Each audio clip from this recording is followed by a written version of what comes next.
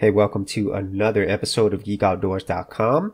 On my continuing OpenShot tutorial series today, I'm going to be showing you how to do a very basic freeze frame effect within OpenShot. Now, if you have not seen my OpenShot tutorial series, be sure to check that out in the description area below.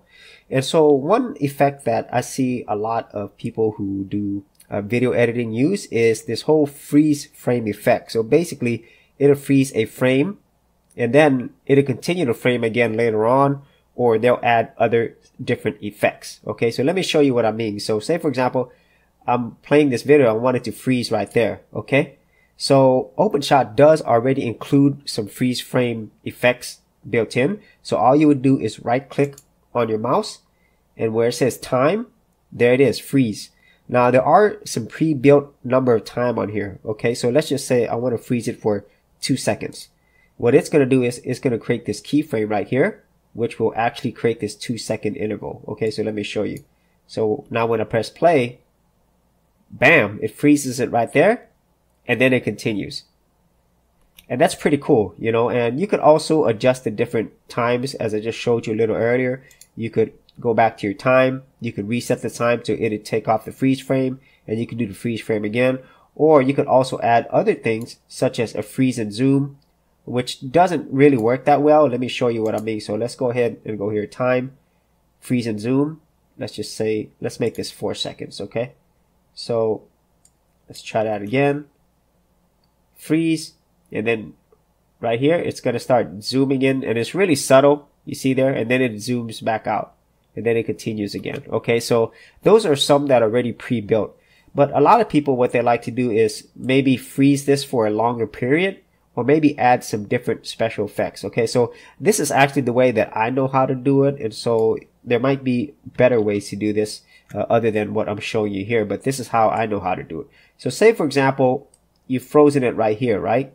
And now you want to do a special effect on this freeze frame, okay? Or maybe have the same frame again, but then have a special effect before you can continue, okay? So what you can do is you still want it to start again right here, so what you can do is you could go just go ahead and cut this right here or splice it. Okay. Right here where the video starts or actually it ends at this point. Get that right there. Okay. And so it'll start over again once it gets to that point. So let's move it over here for now.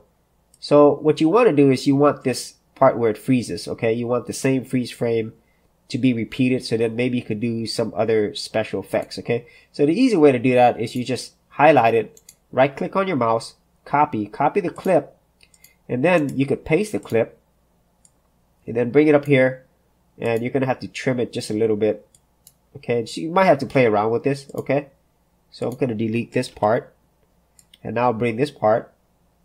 So let's go ahead and play this. So when you play it, it freezes it, still the frozen clip, okay? And then there, okay? Now, it's not exactly a perfect thing, okay, because I've actually spliced it a little bit later uh, or in the middle of the clip. So if I would have spliced it right at the beginning again, or maybe at the end, it would have looked like in the same frame, okay? But you kind of see what I'm saying. You're going to have to play around with it, you know? Now, I thought that if you extend it, right, it would actually extend the frozen clip longer. But actually, the way it works in OpenShot is it actually still has your entire video. So you could actually you know, uh, have the whole video playing right after this, okay? Now, you can play around with the properties as well, but I'm trying to make this as simple as possible. So let me delete this again. Okay. So let's just say within this clip, okay, this second frozen frame, uh, frame clip, you wanted to add a different effect, okay? So I could go here, go to effects, and let's just say I want a negative here, okay? It might look really weird, but I just want to show you how this could work. And you could get really uh, playful with this as well. I mean, you can get creative with it. Okay. So let me see if I can change this right there. So I'm going to change it to where at least it looks different. Let me see if it changes it.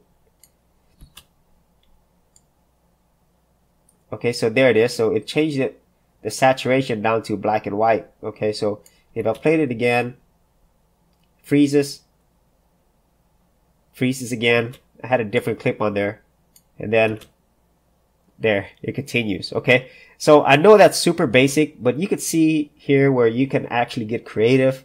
Um, and, and even though the freeze frame, it does work well, it's not quite as advanced as other tools, you know, like Premiere Pro or Kdenlive where you could actually export the snapshot. Uh, you could add more effects that are available here, you know, but you know, as you can see, it's, it's pretty cool. You know, you can also add different transitions as well.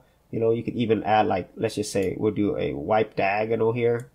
You know, nothing really fancy, but say you wanted it to, after the freeze frame, you wanted it to transition. See, you could do that as well. Okay. So you could easily see how this freeze frame can be used to do some pretty uh, dramatic effects. See, and there it is. And also enhance your videos, okay, to get that cool uh, freeze frame effect. And I don't know why that's not showing anymore. I must have done something wrong here, but you get the point, okay? And so that is it for this very quick video on how to do a basic freeze frame. It's really cool that OpenShot did add this right in the tool itself where you could just do the freeze frame and the freeze zoom. But you know, if you played around with keyframes and stuff, you could also adjust the timing. But I really feel it's a lot easier just to copy and paste this whole exact freeze frame and just just duplicate it, okay? And then you can add or you know whatever effects that you want, okay? And so that's it for this particular tutorial. If you had any thoughts on freeze framing or you had any of your own ideas on how to do freeze frame within OpenShot, be sure to leave that in the comments area below. And as always, if you did get value out of these videos, be sure to subscribe. And if you wanted to support my channel further, you could do that at patreon.com forward slash geek outdoors. Thanks for checking out this episode. And as always, if you like these videos, be sure to click on the subscribe button. And for full written content, audio content, and additional geek stuff, head over to geekoutdoors.com and I'll see you outdoors on the very next episode.